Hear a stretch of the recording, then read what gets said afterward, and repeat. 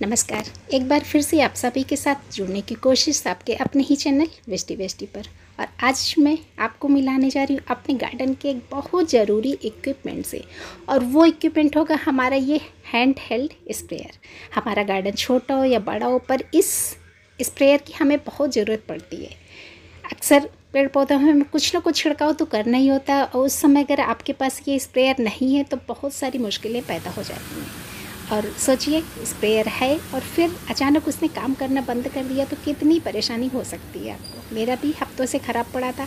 आप में से ही किसी ने मेरी मदद करी है तो मुझे लगा कि हो सकता है मेरी तरह कुछ और लोग भी हों जो परेशान हो रहे हों।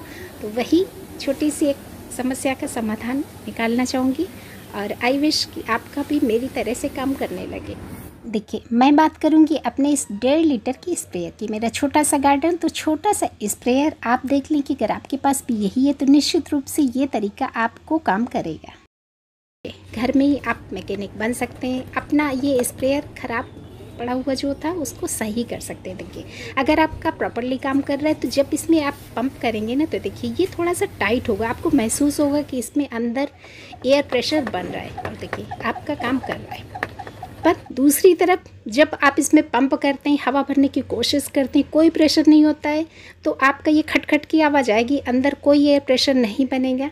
तो देखिए, आप इसको सबसे पहले अपनी लिड को चेक करिए कि लिड आपने टाइटली इसको बंद करी या नहीं करी, क्योंकि अगर आपकी एयर लीक हो गई तो अंदर प्रेशर नहीं बनेगा। देखिए, दूसरी पॉसिबिलिटी ये भी हो सकती कि कभी गलती से आपके हाथ से छूट गया हो या बच्चे गार्डन में गया, बच्चों से गिर गया और इसमें आ गए हों क्रैक्स अगर इसकी बॉडी में एक भी क्रैक आया तो सारी की सारी हवा वहीं से लीक हो जानी है और इस स्प्रे के अंदर ना तो एयर प्रेशर बनेगा ना ही ये काम करेगा। अब ये दोनों समस्याएँ आपके पास नहीं हैं। तो देखिए, तीसरी समस्या क्या हो सकती है? तीसरी ये हो सकती कि इसकी जो नोजल्स हैं तो उनमें कोई कूड़ा या कचरा हमारा अटक गया हो, जिसकी वजह से हमारा पानी या दवा जो भी हमने भरा है, वो बाहर नहीं आ रहा है। तो देखिए, इसको हम लोग खोल के चेक करेंगे। बहुत बारीक बारीक से छेद होते हैं, बहुत हल्की सी भी रुकावट इसमें समस्या पैदा कर सकती है और बस आपका ये काम करना बंद कर देगा। देखिए, इस तरह से हम लोग खोल लेंगे।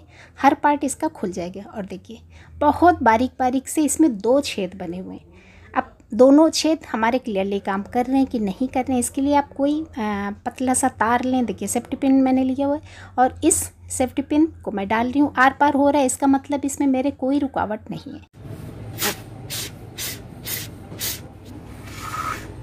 देखिए, इस तरह से मुँह से फूक मार के भी आप इसको साफ़ कर सकते हैं, अच्छे से साफ़ हो जाएगा। ये तो हो गया, अब बारी है इसकी। इसमें भी बहुत बारीक सा होल है।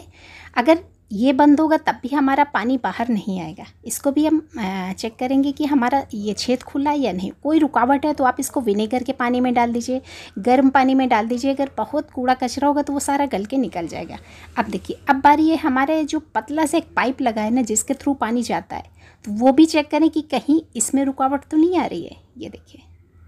पतला सा पाइप है, अगर हल्की सी भी इसमें रुकावट हुई तो पानी आपका बाहर नहीं आएगा। देखिए।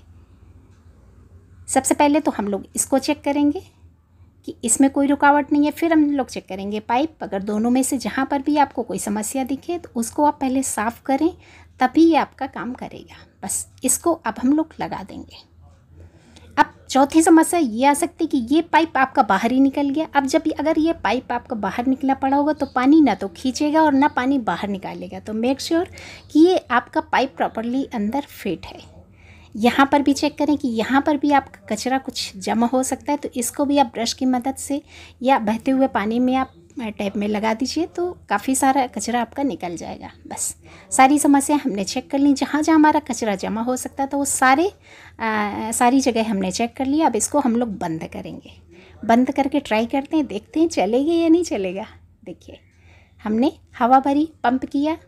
एयर प्रेशर बन रहा है क्योंकि ये टाइट चल रहा है मेरा काफ़ी।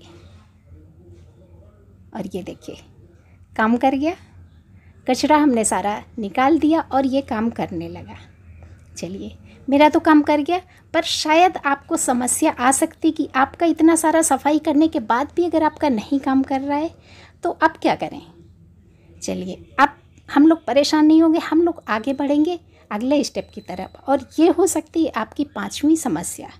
देखिए अभी तक तो हमने सब कुछ अपना चेक कर लिया, जहाँ जहाँ हमारा कचरा इकट्ठा हो सकता था। अब बारी है, ये जो इसमें ब्लैक कलर का ड्रम लगा है ना, इसको खोलने की बारी है।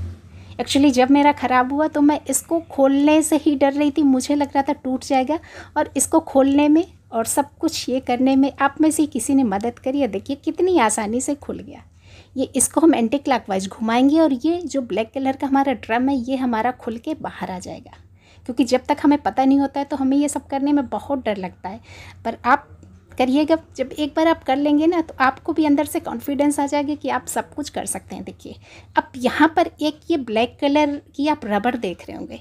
सारा का सारा मैकेनिज्म इसी पे टिका हुआ है। अब इसको हम लोग निकालेंगे बाहर। ये देखिए, आप कोई नुकीली चीज़ की मदद से भी निकाल सकते हैं, अगर ऐसे हाथ से नहीं निकल रहे बस इसको हम लोग साफ़ कर देंगे। अभी चूँकि मैंने साफ़ किया था आ, तो काफ़ी साफ़ दिख रहा है। इसके पहले इसमें काफ़ी काला काला सा कचरा था और वो सारा मैंने साफ़ किया था। ये देखिए हमने साफ़ कर दिया सारा कचरा। आप धुल के ब्रश की मदद से भी इसको निकाल सकते हैं और साथ ही साथ ये जो रबर देख रहे हैं ये रबर भी आपको साफ़ करनी है। साफ़ करके हम लोग दोबारा से इसमें लगा देंगे। ये देखिए हो गया। और इसको हमें फिट करना है। तो देखिए, ऊपर से, सबसे पहले ऊपर से आप इसको अच्छी तरह से ये फिक्स करेंगे, क्योंकि ऊपर से अगर आपका अच्छे से फिट नहीं हुआ तो नीचे का सारा सिस्टम हमारा बिगड़ जाएगा। बस, अब देखिए, जैसे हमने इस ड्रम के अंदर से ये निकाला था, उसी तरह से हम लोग इसको अंदर इंसर्ट कर देंगे। ये देखिए, खोलने के लिए हमने घुमाया था। एंटी क्लॉकवाइज बंद करने के लिए हम लोग इसको घुमाएँगे क्लॉकवाइज ये देखिए अब एक और यहाँ पर सावधानी कि ये सब करने की प्रक्रिया में कहीं आपका ये वाइट वाला पाइप तो नहीं निकल गया बाहर। तो ये भी ध्यान रखना है कि जब हम उसको फिक्स कर रहे हैं तो साथ ही साथ इस पाइप का भी ध्यान रखें कि पाइप हमारा अच्छे से इसमें लगा हो। बस, देखिए।